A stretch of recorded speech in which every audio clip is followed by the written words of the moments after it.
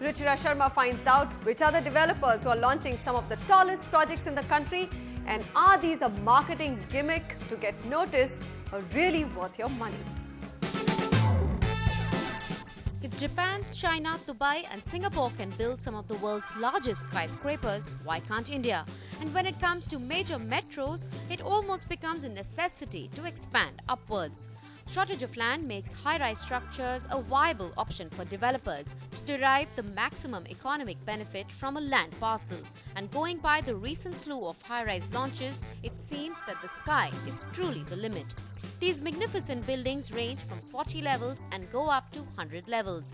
In the National Capital Region or the NCR, those vying to build the tallest structures include Ireo, Raheja Developers and Supertech Limited, while the Lodha Group is building the tallest residential tower not just in Mumbai and the country, but in the world, with 117 floors.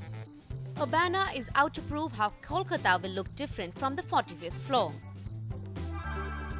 the trend is definitely here to stay. Uh, we have launched something which is the tallest building in, in Gurgaon and we're also launching the tallest building in Delhi. We are working uh, with the construction company that built the Burj Khalifa. So technology wise, we do have the access and expertise to execute something that's so um, massive in its scale.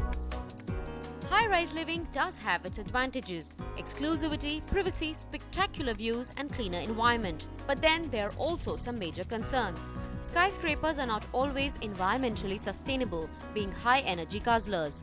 The question of safety also arises.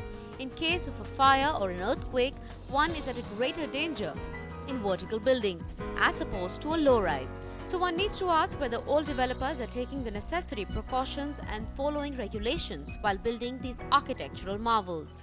Definitely, it's a big concern that uh, building should be structurally safe and uh, should be following our international norms of uh, vertical development.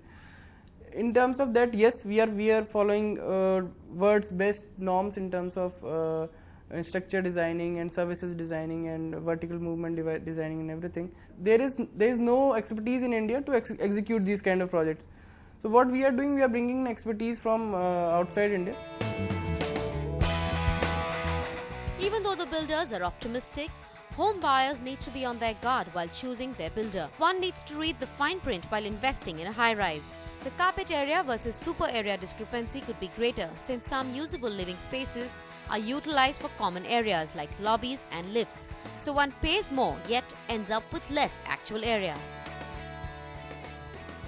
While the thought of living on the top of the world is appealing to most people, a noteworthy fact is that these properties usually come at a premium price since construction of skyscrapers involves substantially higher cost. So the question arises whether the end user should expect higher returns while investing in skyscrapers overall, I think the safety aspect is something which is going to be critical. So if the developers uh, are, are going to sort of, you know, take necessary steps to kind of articulate the safety aspects from a consumer's point of view, then I think the overall the package should be attractive. So the verdict is clear. Going vertical might be a solution for the soaring population and the mounting pressure on land but it needs to be implemented carefully with the necessary regulations to be successful in the Indian context. In New Delhi, Ruchira Sharma for NDTV. India's number one news app just got even better. Download NDTV's new app. Fully optimized for retina display. Full screen view. Faster response time. And Sudoku. NDTV's new iPad app. Download now.